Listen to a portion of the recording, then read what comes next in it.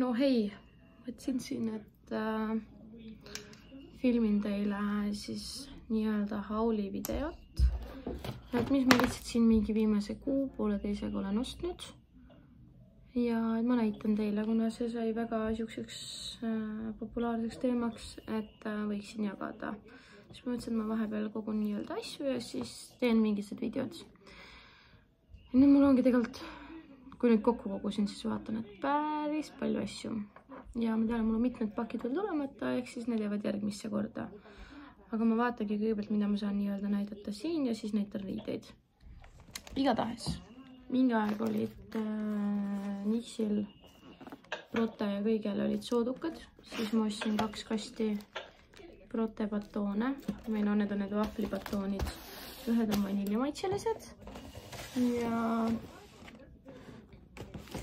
ja üks on siis apelsinimaitse, need on lahti, siit on juba mõned võetud.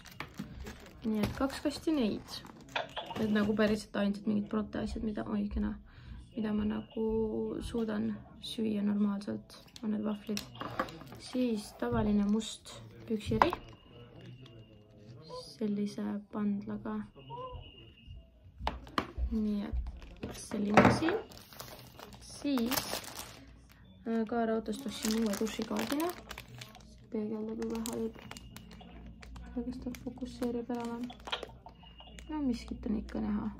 selle ma peangi panema selle külge, siis ma olen seda näidanud ka, ehk siis kaamera, mida ma ikka veel ei kasuta. äkki juba nüüd täna-homme, kui tüdruk tuleb lasteaias ja Sassu magab, saan nii-öelda hakata näppima, ehk siis äkki, kui me nüüd lähme Soome nädalavahetusel äkki ma siis juba saan kaameraga teile filmida. siis ma ostsin endale rõivaauruti, käsi oma.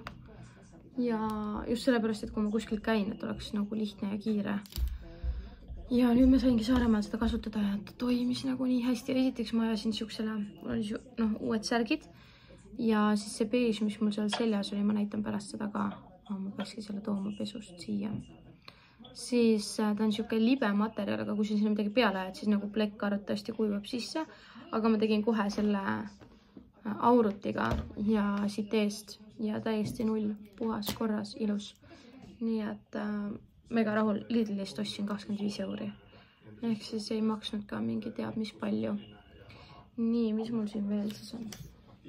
siis ostsin endale ühe selle näopesuvahu täiesti lamp. nii, mis mul veel siin on? siis emmale ostsin siin, meil on kombe samasugune, aga siukse jope talve oma ja püksid ka. Need komplekti. kuna Noora kogu aeg tahab käia ainult äh, jope ja pükstega suurem osa ajast, siis emmal on ka mingi mina ka, mina ka. nii et siis sai tema ka nii et siis tal on ka, ma vaatan, mis mul siin veel on. nii, siis ma sellise kuugivormi ostsin. no ei fokusseeri ära. selline. ma ei ole veel katsetanud, mingi aeg katsetan. aga sellega peaks nagu jääma kümme korda paremini kõik küpsisetordid ja igaskoogid, nii et äh, nii-öelda kuju, et ta ei valgu laiali ja see, kui sa paned ülipalju küpsisetordi vahele seda Äh, kuhupiimakreemi või miskit, et siis ta ei valgu ja ei lähe siukseks rõvedaks, vaid jääb ilusti siia. nii et minge katsetan ära. siis Noorale ostsin sellise jänkudega, pikkade käistega sihuke kampsik. siis ma võtan siit, Noora on juba mingit asja selga proovinud, aga ma ei ole andnud kanda, vaid lihtsalt proovida siis sihukeste võrkvarrukatega tavaline T-särk ah,. see ei olnud mustus, mingi hebemeke, siis emmale kiisukleit. selline, siit on sihukeste volongidega. siis Noorale üks pusa. vahetuseks siia ka. siis Saskiale podi hobustega. siis emmale veel üks kleit, karupoeg Puhhi oma, alt on siukene. nii, siis endale musta pesu. siis Saskele soojemad siuksed kindad. nii, siis Noorale selline pusa. Nii, Noorale sihuke seelik nii, siis siin on pesu veel. emmale ostsin veel sellised retuusid mustad, külgedel on lihtsalt siukene kiri või miskit, nii et mõtlen. siis Saskele siukene kampsik. Siis Saskele siuksed retuusid siis Saskele veel sellised retuusid, need on niisuguste soonikutega. siis emmale ja Sassule mõlemale ostsin siuksed lühikesed püksid, mõlemal on kaks paari. emmal on juba tema omad kasutuses. ma sain endale ühe märkmiku, ma teen õiget asja. see pakk tuli ka ära, sellega oli kaasas veel üks harilik siis palju õnne. ja, ja siis üks kaardike ka, kus taga oli, et hea Käti, palju õnne, mille meie selle võidu puhul ja uut aastat sulle ja, jah. siis käisime, ostsime IKEA-st veel kööki endale kummuti ja siis ma ostsin IKEA-st kaks pakki juurde kausse, kaks pakki lusikaid, siis kaks pakki neid äh, joogitokse ja kaks pakki neid äh, taldrikuid. ma vaatan kohe, mõtlen, mis veel. Kirbuka või humana äh, ostude saak ka sain või no mul naabrinaine käis ja siis ta vaatas, äh, kas mublikadele ka midagi on ja siis saatis, kui on igastahes siis selline H ja M-i oma, mis nagu tutikas, siit alt on see ka. ja kuna neile hullult meeldivad siuksed, siis see oli kaks viiskümmend ainult. Emma sai selle, Noora sai kolme euroga tutika adipusa. Nagu tal isegi ei ole topilisust ega midagi, nagu täiesti tutikas. siis emmale arvatavasti suvel siukene veluurist äh, jumpsuit. et küll ära kannab. siis ma tellisin mingi aeg endale, maksid vist kaks eurot. sellised, nendega saab kohvide ja kakaode peale teha äh,. siin on laav ja päike ja no neid on ikka päris palju siin erinevaid südamed ja suur süda ja no neid igastahes on ja kui te küsite, miks, siis ma ei tea, need olid nii odavad ja mulle vahepeal meeldib. näiteks kui on kellelgi sünnipäev, noh, Hennul või, või ma ei tea, isadepäev või mingi sihuke erilisem ja siis nagu oleks tore vahepeal midagi siukest nunnut teha või kui tuleb mõni sõbranna külla või mingi, ma ei tea. Või sihuke erilisem värk on, siis saaks nagu teha, kuna nad ei maksnud ka midagi ja siis ma ostsin tüdrukutele voodipesutooed mõlemale. ma ei hakka tekikotte lahti tegema, ma teen padjapüüri. selle Aarieli, on vist Aariel? ma ei tea, igastahes tema, tema selle ostsin. mõlemale siis ehk kaks. ja siis ma mõtlen selle IKEA kapi ostsime, midagi oli veel, mida ma ei saanud näidata. mõtlen korra. Midagi ma ostsin veel äkki rohkem ei olnud seda, ülejäänud on minu riided, ma kohe näitan neid ka.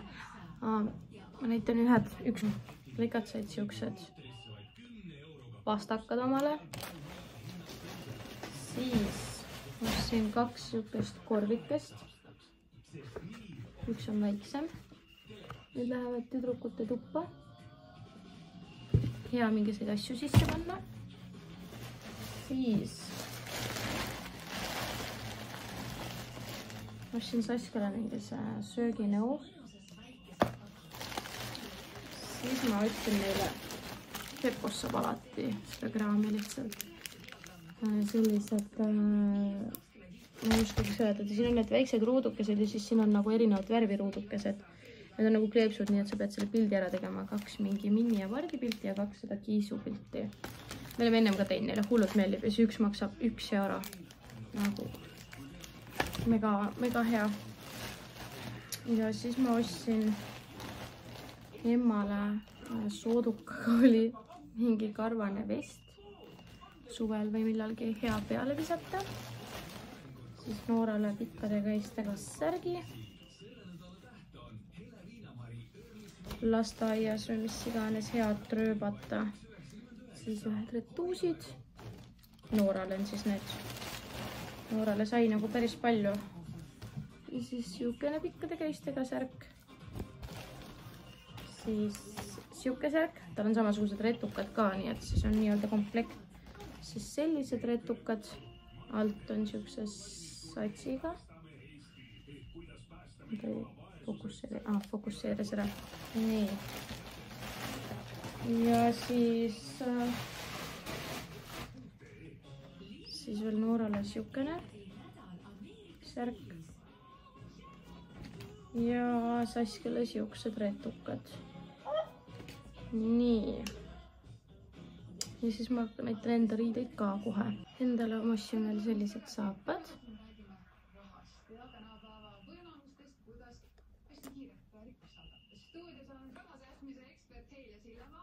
nii. siis ostsin endale siukse talvemütsi.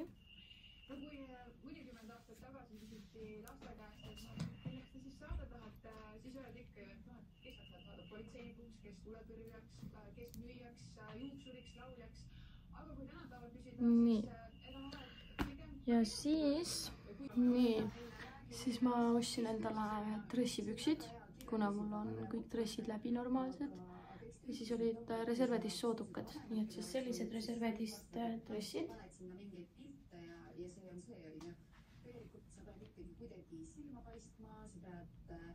väga läbi mõtlema, mida sa postitad, kuidas sa postitad, kuidas sa saad endale kõik need jälgijad et.... äkki kuskil viisteist eurot, mul on M suurus, sest ma tahtsin, et oleks siuksed lohvakad mitte väga ümber ja nad on megapaksud, mega head. nii, siis ma ostsin endale, oi, siis ma ostsin endale selle, no kõik teavad, see on sellest libedast materjalist, see maika, ka Reservedist. näeb siis niimoodi välja. mul oli kunagi ka neid, aga need olid nii koledaks läinud ja halliks ja, ja siis ma nüüd ostsin endale uue on siis valge. Ja tegelikult on beež ka või sihuke kohvi, on sihuke beež, beež ja sihuke kohvivärvi ka. Või noh, beež kohvivärvi. siis ma ostsin endale vesti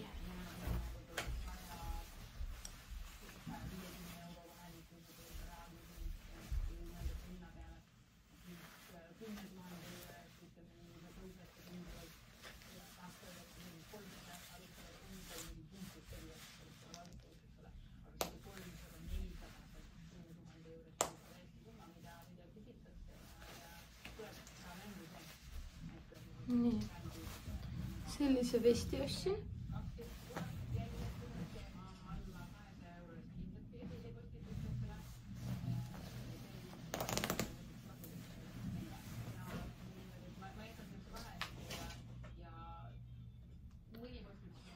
siis seda te nägite viimasel insta pildil ka.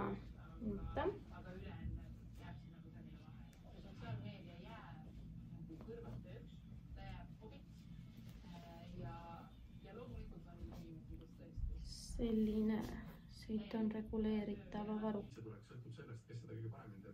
kas sina oled kuidagi osanud? ostsin omale nahktagi oversize suuruse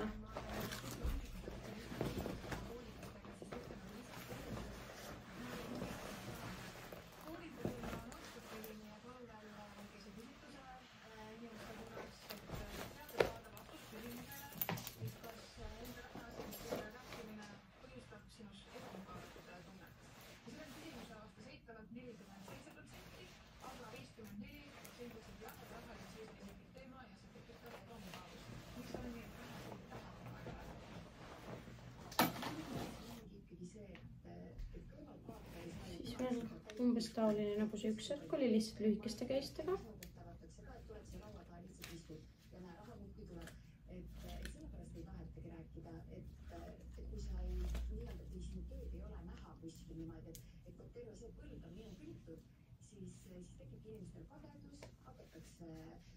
kritiseerima ja noh, see on see tunne, mida me keegi oma ellu ei taha.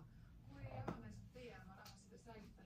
sedasama lugu, mis sa ka välja tõid nõudete küljest, et sellist Delfi esi, esijuhtis äh, selle aasta alguses äh, nädalake. Ja siis äh, selle kommentaari servisin enda, enda siis see seelik, mis mul ka Insta pildil oli, see on seelikpüks ehk siit on nagu seelik. Kui seda tõsta, siis on lühikesed nahkpüksid all. selline. siis mul insta pildil on näha olnud ka neid äh, Texasi, mis on siit ülevalt niimoodi kroogitud. Nad on siukse boyfriend'i stiilis. et nad on laiad. siis ühed boyfriend'id olen veel ostnud. Need on ülevalt siuksed klassikalised aga siit põlve juurest ja siit on kulunud. alt on tavaline. siis paksud sukapüksid, mis mul jalas olid. Siis kohvivärvi ka samasugune maika nagu see. ja siis ostsin sellise ranna oma. saab suvel panna peale. siin on niisugune litrite riba ka vot, nii et äh, rohkem vist ei olegi väga ostnud midagi, et tegelikult nagu päris palju ja samas nagu mitte midagi nii palju. et äh, ma loodan, et meeldis ja äkki kuu-pooleteist pärast saab järgmise teha, siin mõned asjad on tulemas niikuinii ja, ja vaatame, mis ma siis olen ostnud, varsti on ju kevad peal ja peab hakkama ostma lastele ja endale ja kevadasju. vot, nii et tšau.